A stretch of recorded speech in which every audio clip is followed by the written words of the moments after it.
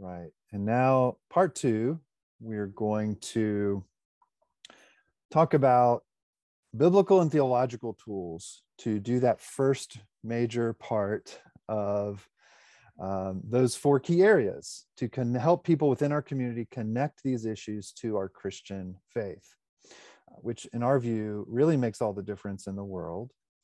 And we're going to talk about how also to connect these issues, issues of prevention and response to our identity and our mission as a church. And certainly talk specifically about, especially how Jesus talked about power. And that is another key area that we can help everyone really uh, connect on a practical level to what we're asking them to think about and do in terms of abuse prevention and response, because Jesus said so much about power and how we are to use power. So, again, that first major area that we talked about at the end of the last segment, connecting these issues to our Christian faith, um, all of the things in this segment are going to be connected to giving you as leaders tools to help you think about how are we cultivating this mentality within our church community. And I'll just say it very bluntly um, leaders must, you must grow into your own voice on these issues. Um, you know, we train in organizations, uh, we do training for leadership groups, we do training for congregation based groups, the whole church community, all the adults. We're trying to get as many adults from the community out to a training as possible. And that's important and that's wonderful. Uh, it's important to have, uh, you know, those with experience and expertise speaking to these issues. But what really gets traction in terms of a culture is when you, as local leaders in your local community, come into your own voice, when you are speaking and with conviction and helping others make connection to these issues in God's heart, to these issues and the teaching of Jesus directly. That's what really gets traction and, and helps uh, shape that culture that we want. Um, and it's not about doing one sermon or you know a, a, a one series or something of teaching uh, it's you're constantly trying to uh, uh, incorporate this in, in the priorities and how you're communicating throughout your ministry calendar, uh, throughout your ministry year. Uh, connecting in a sermon application point here, mentioning this in your uh, membership class, uh, in a, a, lesson, when you are uh, doing a prayer for the congregation to pray for those who have suffered uh, from abuses of power or those who are enduring trauma. Uh, it's in little ways that, and yes, I'm not against a sermon or or or a series uh, in a Sunday school setting. Um, those are wonderful, but it can't only be that. It can't just be, you know, we do a policy talk uh, once a year.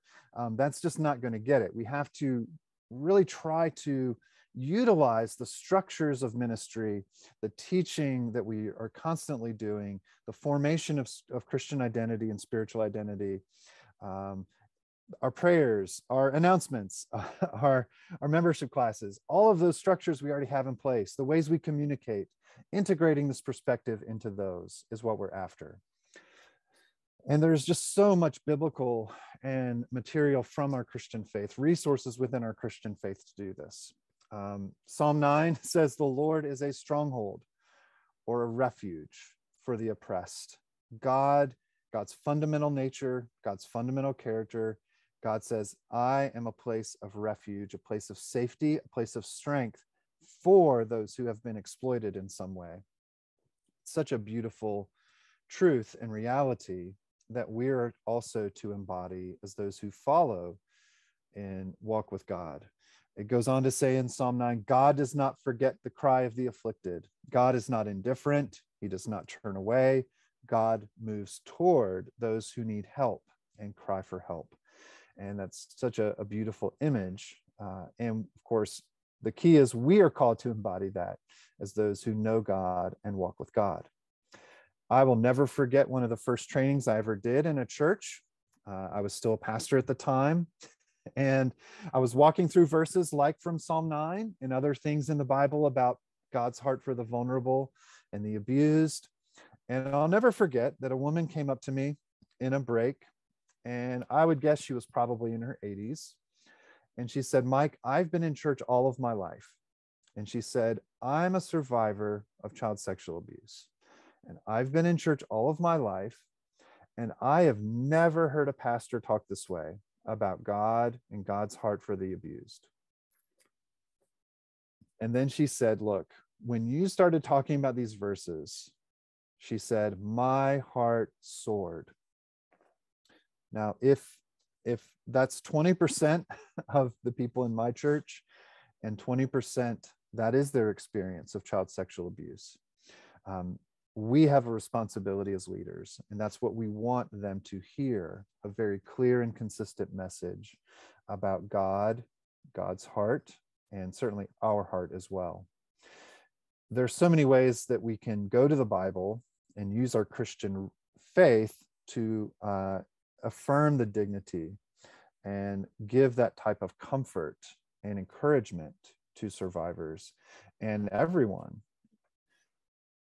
In the very beginning of Genesis 1, where it says that we are made in the image of God, we are invested with, um, as image bearers, with inherent dignity and worth. And that's a, a repeated theme throughout the Bible. That's certainly a major theme of the Bible uh, that we can refer people to. And then over and over again throughout the Bible, God speaks powerfully about groups of vulnerable people who need to be protected and standing against oppression, uh, especially of those who are easily exploited. So I'm going to ask you, what are some of, uh, now some of you have been in church uh, like me all your life, or you've been reading your Bible for years. What are some of the most common uh, types of vulnerable groups that the Bible that God singles out to say, pay attention, uh, be protective, be aware of those who are vulnerable. There are common categories of vulnerable people that are mentioned literally hundreds of times throughout the whole Bible. So, what are just a few of you, if you would, just chime in uh, and name some of those groups that the Bible speaks to? What comes to mind? In the chat room, we have um, the poor, children living in poverty, poor, children, women, poor. I would say I would add uh, immigrants, foreigners. Yeah, immigrants. Mm-hmm. Mm-hmm. Yes, absolutely. Uh, the poor, uh, those who are sick, those who are disabled, uh, children, certainly uh, orphans or the fatherless, as a, the, the most vulnerable widows. of children. Mm-hmm. Um, certainly in the ancient Near East, um, you know, especially in heavily patriarchal cultures. Uh, women were vulnerable because men held all the power typically uh, in many cases. And so women were vulnerable, but widows were the most vulnerable of women. So widows are singled out very often. So you have laws in the Old Testament where God says directly, protect the vulnerable people, they're more easily exploited. Make sure that you are attentive to that and protective. Uh, the prophets chastise the people of God for instead of using power to protect the vulnerable, I'm thinking like of Isaiah 1. It's talking about how God's people are oppressing widows and orphans and exploiting them instead of protecting them. And it's an indictment of the culture and of the leadership of the culture. Uh, that's in, in, other prophetic passages, that's a major theme. Uh, in the Psalms and wisdom literature, and in other uh, history uh, portions of the Old Testament, there are connections to these groups of vulnerable people very often in terms of God's mentality and the responsibility we share as Christians, as people of faith uh, in those settings. And then when we get to the ministry of Jesus, do you remember any stories of Jesus where he interacted with someone who was poor, sick, uh, someone who was a child or a, an orphan or a widow?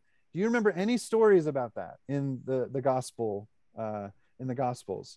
Well, yeah, it's like I missed every page of the gospels. Jesus is focusing his ministry on just such vulnerable people because his very heart, his ministry, uh, his preaching, his kingdom is very much focused on bringing good news to uh, all, but certainly especially focused on those who are uh, vulnerable and then of course in the letters of the new testament we have uh, and, and in the ministry of the apostles we have paul uh, talking about the offering for the widows and making sure that we're caring an offering for the poor that we're caring for the vulnerable.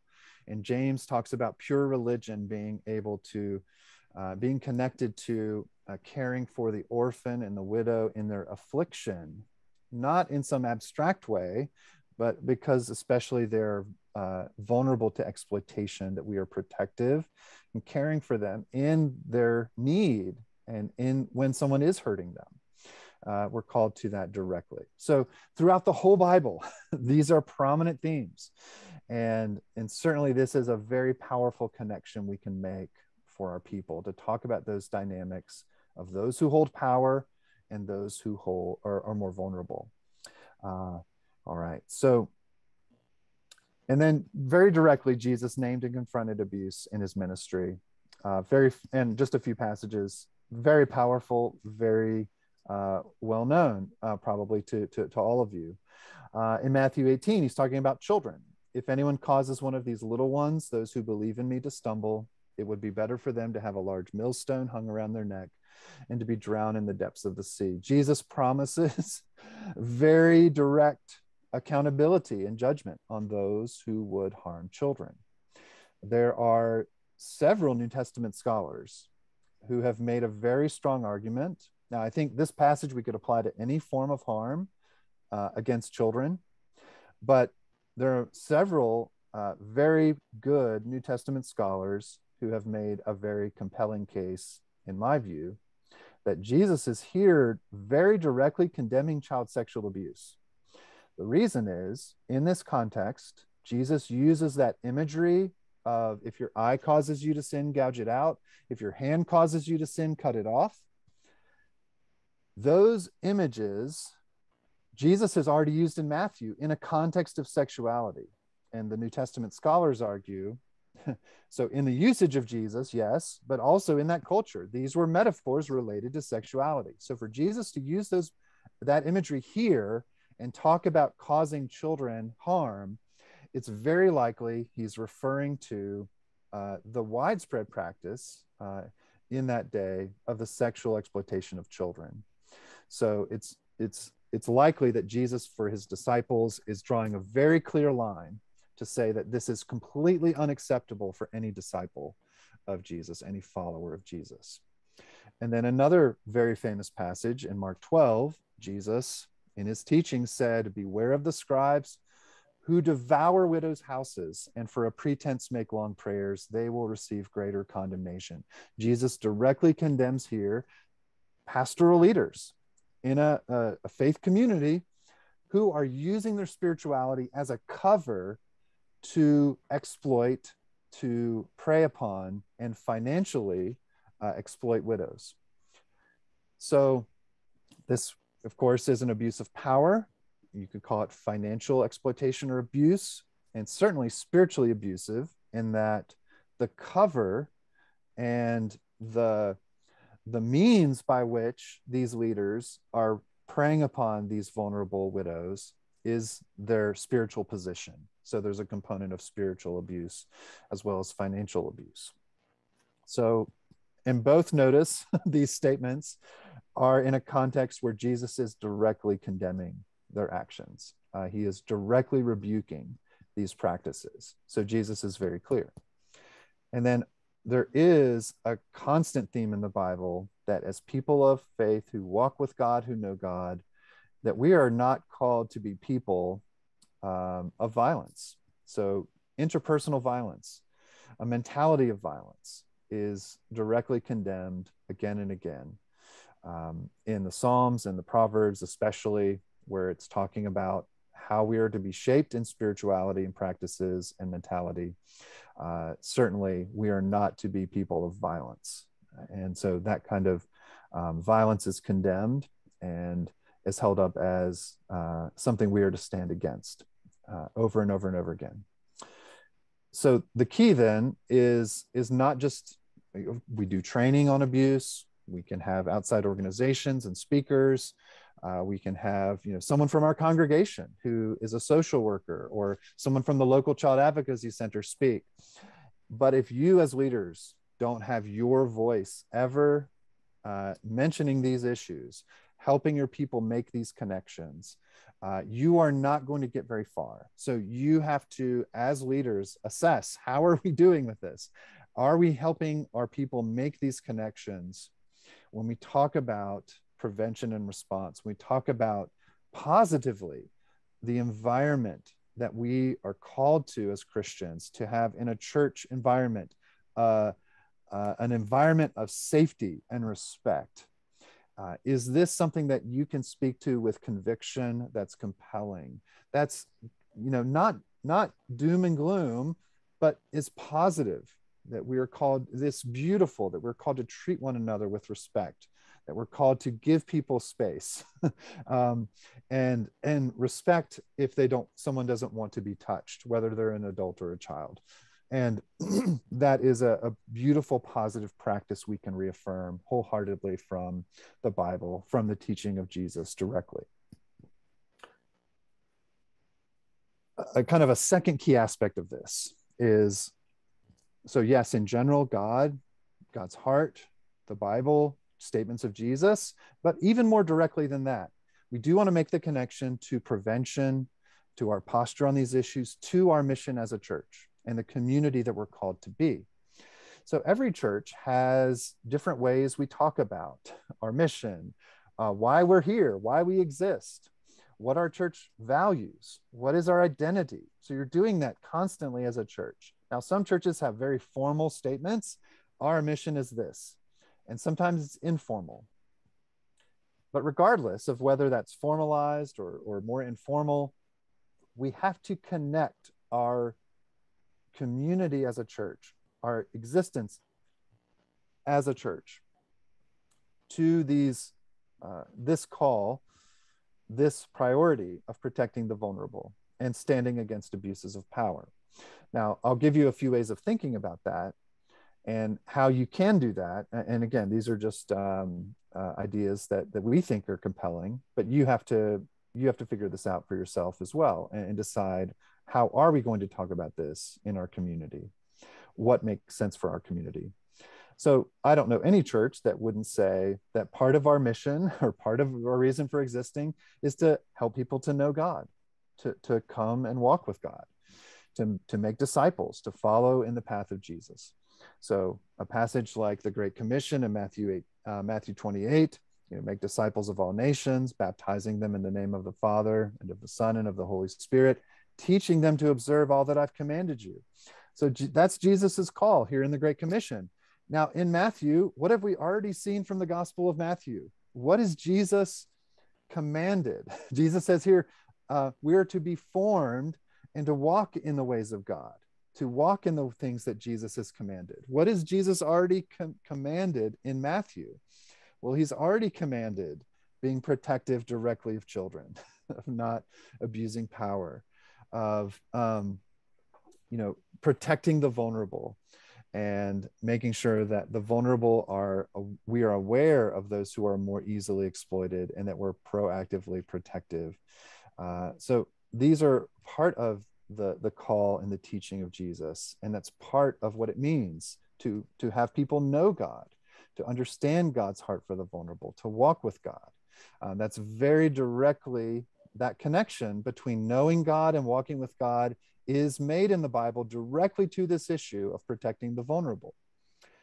So I mentioned this verse earlier uh, in the prophet Jeremiah God talks about the leaders of Jeremiah's day were oppressive leaders. They were exploiting others, using deception. And it says they refused to know God. And then, positively in Jeremiah, the example of Josiah, who for the most part was a very good king. And Josiah defended the cause of the poor and the needy, and so all went well. Is this not what it means to know me? So, do you see that in that those two verses from Jeremiah, the framework is you know protecting the vulnerable is an issue of knowing god. What does it mean to know god and walk with god?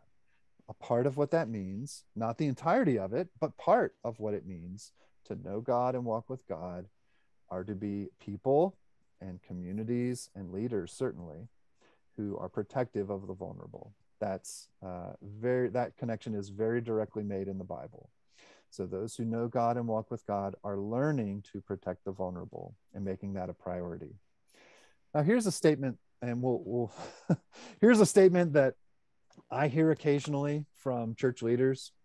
Um, we know one in Mike, oh, Mike, we know one instance of abuse could ruin our ministry. We're so glad you're here. We're going to do this training. I always cringe a little bit when I hear this statement or this mentality. And I just wonder, do any of you have thoughts about a statement like this? Of what's going, what might be going on in a statement like this? So let's, let's unpack this statement a little bit. If some of you want to weigh in on it, what are some of the things you think of in a statement like this? You know we, we know one instance of abuse could ruin our ministry. What might be some of the dynamics at work in this sort of mentality?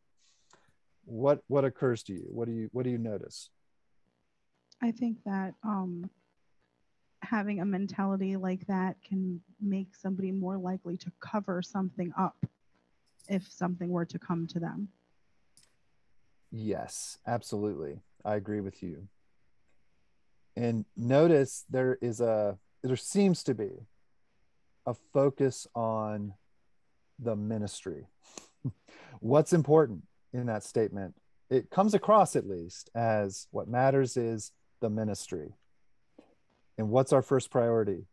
Protecting the ministry.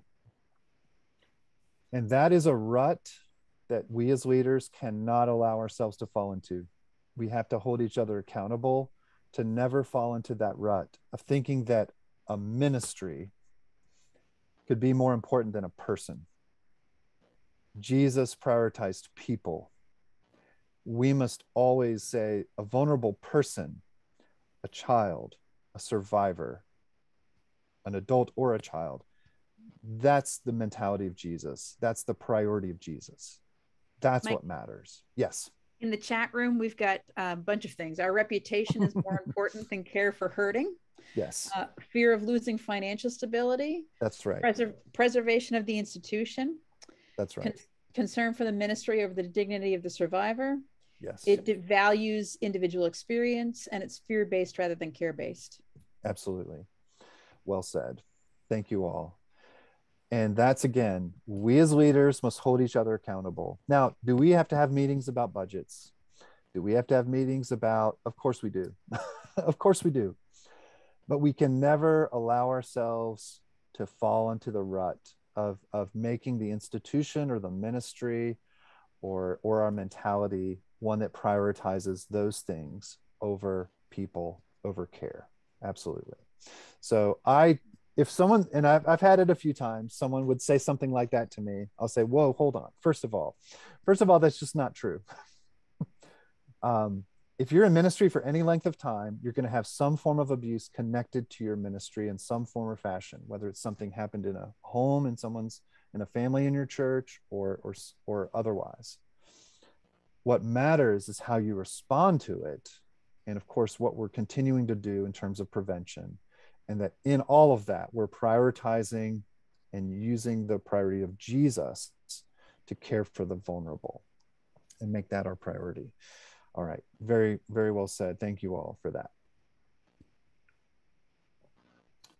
And then abusive power um, jesus talked about power all the time uh, by the way when i was a kid in sunday school growing up um, i'm i'm old enough uh, maybe some of you are as well um, I had something in Sunday school called a flannel graph. I don't know if any of you remember the flannel graph, which was just a wonderful, um, wonderful medium for kids. And so pictures up put up on the flannel graph of sheep and shepherds and wolves because it's using the language of Jesus from the Gospels very often. And that's the curriculum I had as a kid, a curriculum based on the Gospels. And so there were often pictures of sheep and shepherds. And the whole point of those metaphors of from the words of Jesus. Like in John 10, Jesus says, When the wolf comes, the hired hand who doesn't care about the sheep runs away and doesn't protect the sheep. But the good shepherd stands in between, essentially, the wolf and the sheep. The shepherd, who is a good shepherd, is protective and puts themselves on the line. And it's costly and it's scary, but the good shepherd is bearing that cost on behalf of the vulnerable and is protective. So, the key in those statements of Jesus, and certainly Jesus is talking about his own uh, laying down his life uh, for others and being sacrificial in that way, but certainly Jesus calling us as leaders, as shepherds, to follow in his footsteps uh, is, is part of that passage, I believe. And what's so profound to me when you look at the prophetic background of the, that language, all of that language that Jesus is using there comes from the prophets like Ezekiel 34 and Jeremiah 23. And the issue, the issue in those prophets are leaders who are abusing power, leaders who are authoritarian and ruling the people harshly, leaders who are neglecting the people so that they're being preyed upon by others, leaders who are, some of them, directly feeding upon the sheep and using the sheep for their own benefit and own gain. And so the key issue, the core issue in those statements and in those metaphors are issues of abuse of power. And Jesus, in his ministry, very directly in multiple passages, not just John 10, is using the same metaphors to speak directly about power and how power is to be used in the community of faith and certainly by leaders. So that is to me, there's just so much here in the Bible that we must help our people understand in church that we have, we can have a very clear uh, theology and articulation of power from the teaching of Jesus. And then in John 10, the first priority of the good shepherd is the safety of the vulnerable sheep. That's and that is a trauma informed principle.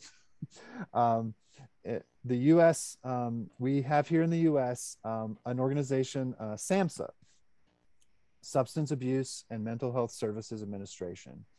And there's a wonderful summary document they have about trauma. And the first trauma informed principle is that the, the top priority is always safety of others. And certainly for those who are vulnerable or those who've been hurt. Safety is the first issue. And to me and us at Grace, our executive director, Pete Singer, is a trauma informed therapist. And he says, look, trauma informed principles cohere with the teaching of the Bible in just wonderful ways, in beautiful ways. And so here, Jesus's heart is clearly the priority of protecting the sheep, the issue of safety for those who are vulnerable. And that is exactly what our uh, SAMHSA here in the US names as the first trauma informed principle is attending to issues of safety for those who've been hurt or those who are vulnerable. So, as leaders, it's not a side issue, it's not you know a low priority. It's actually a very top priority for us as christians and we cannot outsource protecting the vulnerable. You know we as an outside organization come in to help all the time and we're there to help and serve in any way we can but at the end of the day you we are not going to be there in your community and leaders must have the mentality that we have to take ownership of this. And as leaders you can't do it all yourself. That's why we have to adopt that community based approach to prevention. You have to work on educating everyone and bringing everyone along into this mentality because it takes a community working together. That's when we're really getting somewhere with effective prevention so proactive posture is not just, um, again, it's not just something SAMHSA says to do.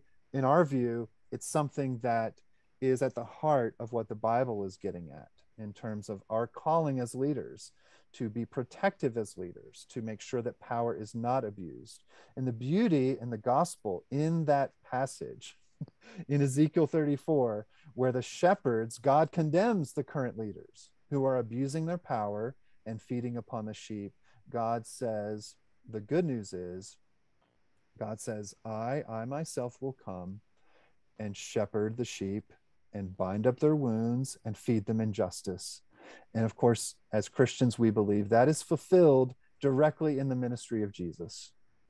God incarnate comes and binds up the wounds of and and protects and feeds them in justice. And of course, we are a part of that continuing work of Jesus in the ministry of the Church of Jesus. And that's that's just again a beautiful reality. All right, here is another scenario, and I have very good news for all of us. There is no abuse in this scenario. So take a deep breath. This is about a good pastor who is a wonderful pastor who does not abuse power. But I'm going to read you this scenario and and here's the simple question I want us to discuss. What types of power do you see? What types of power does this person hold? All right, Pastor Mark graduated seminary with honors. He's pursuing a PhD. He is beloved in his church for his sense of humor, his kindness, and willingness to help. He gives skillful sermons that inspire and encourage his flock. He is average height, but his personality and presence can fill up a room. He is not afraid to speak about his own humanity and share about his own vulnerability. Many in the church view him as an extension of their family. So here's the question What types of power does Pastor Mark hold? How can we uh, distinguish the different types of power that a pastor can hold and in this concrete scenario that Mark holds? Um, what do you notice? What do you see?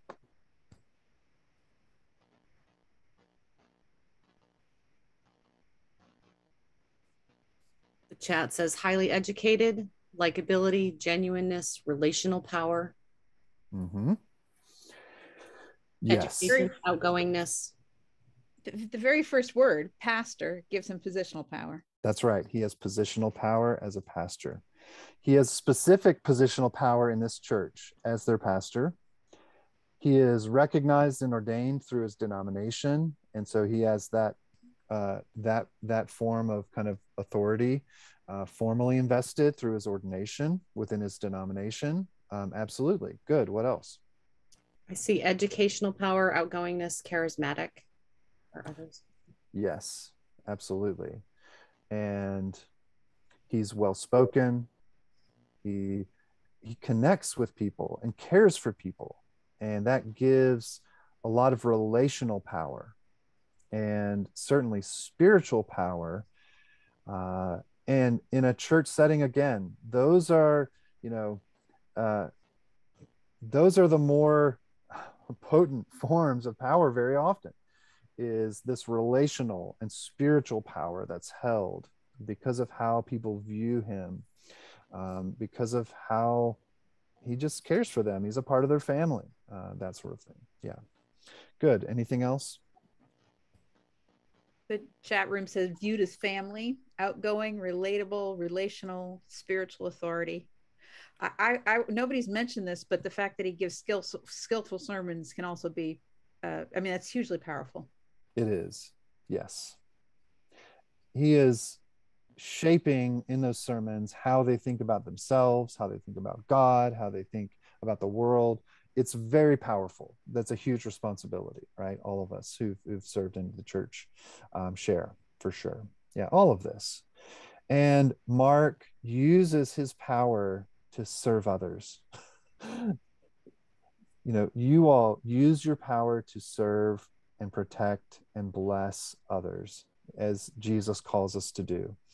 And it's just so important as leaders that we are doing the reflecting work to say to understand the types of power we hold.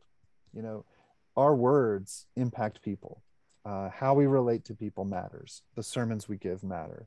Um, we hold tremendous amounts of power in the church. And how do we continue to reflect? What does it look like to use our power to serve, to protect, to bless? That's the way of Jesus. And what could it look like, or what would it look like if we began to use our power for ourselves? Um, and that often begins with, you know, self deception, with uh, I can oh yes i can do that that's not a big deal but just to to be aware to be self-aware knowing ourselves is vital uh, and certainly holding one another accountable organizations do well to establish clear boundaries in power dynamics so we've we've raised this issue before but since we're talking about power when there is a clear dynamic a pastor has a clear power over a congregant adult or a child because there's a direct spiritual responsibility.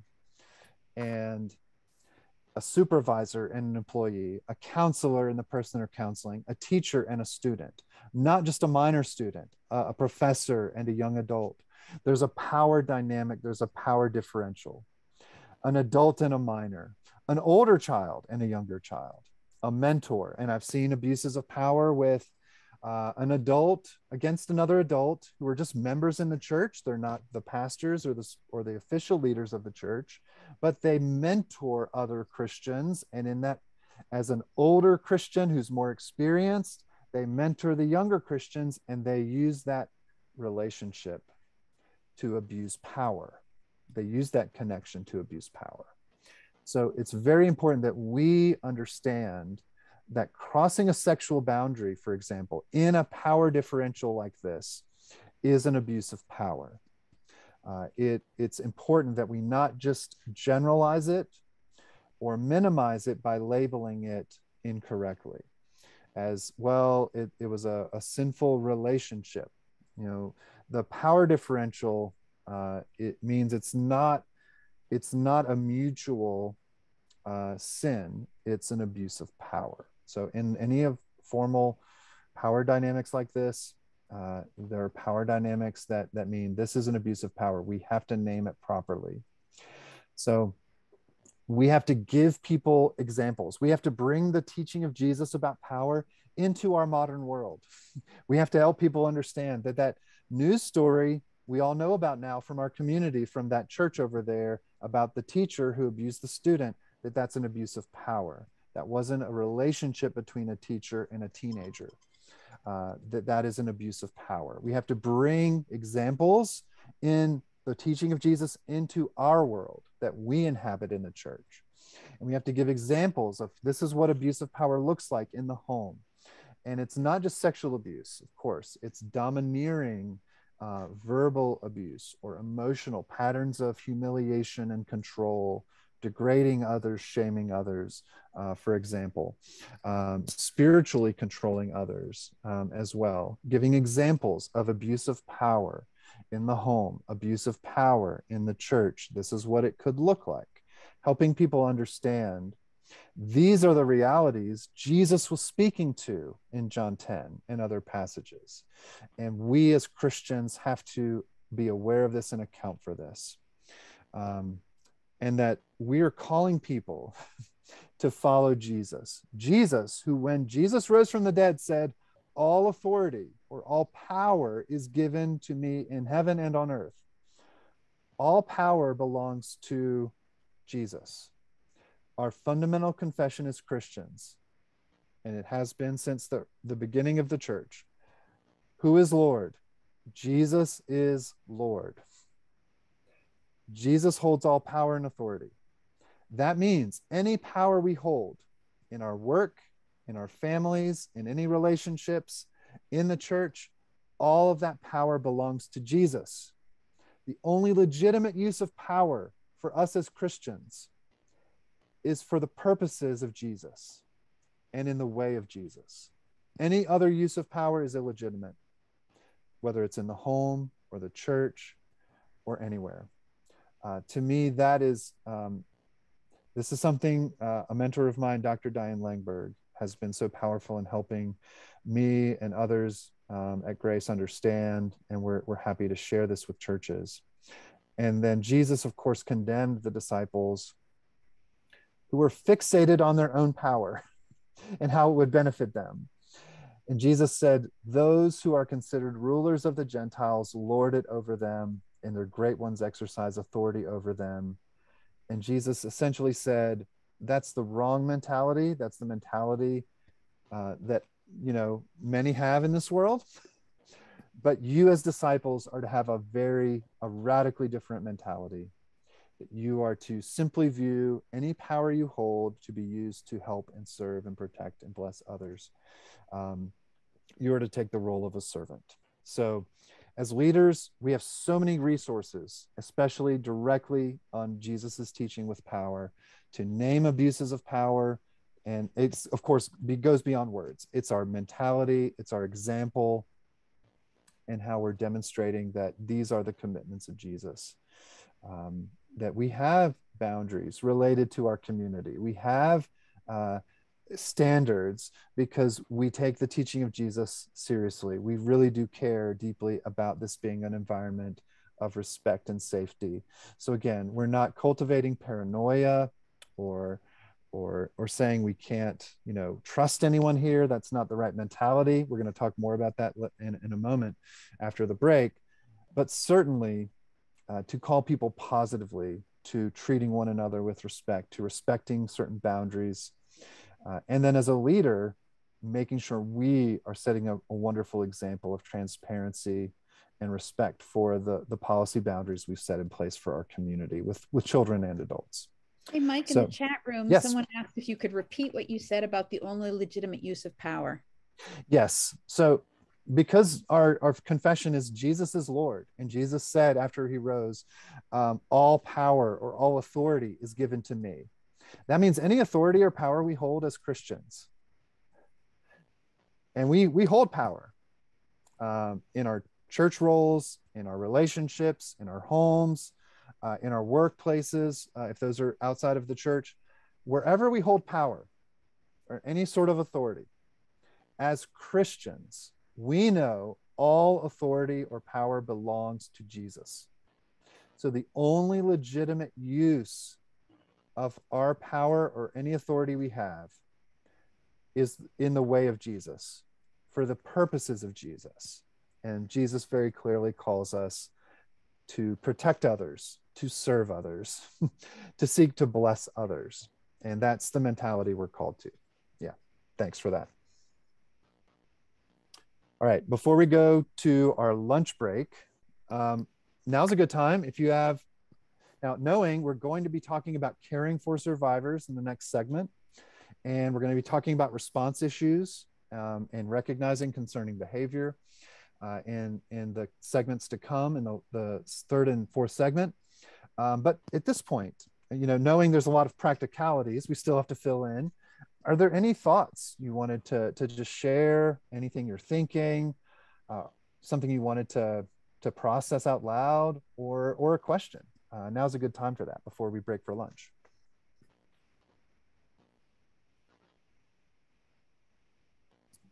One person in the chat room said the word privilege can be used in the, in in place of the word power in this setting.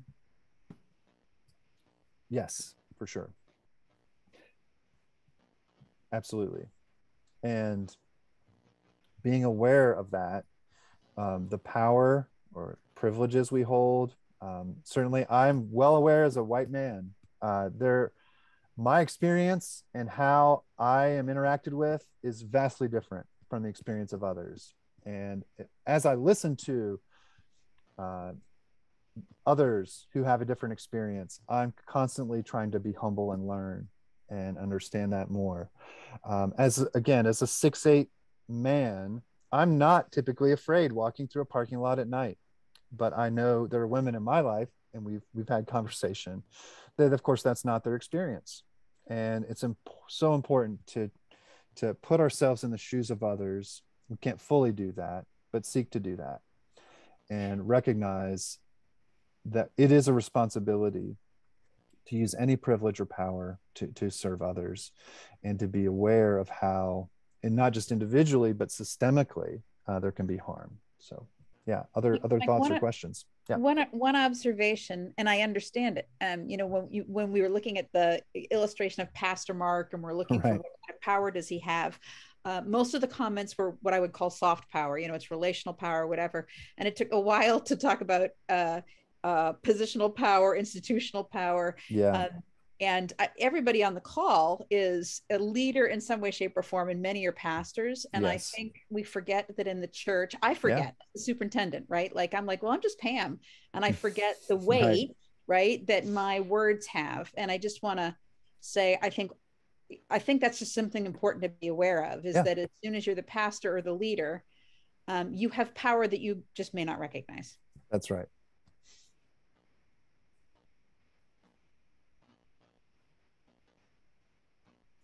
and I, I do want to protect our lunchtime but is there any any question anybody has before we break maybe maybe just one so we can protect that lunchtime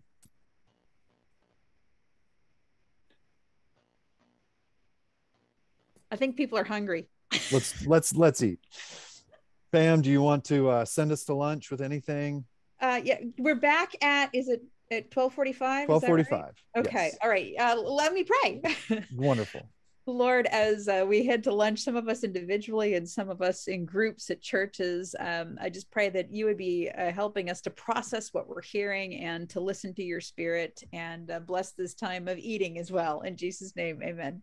Amen. All right. Have a good break, everyone. See you at twelve forty-five.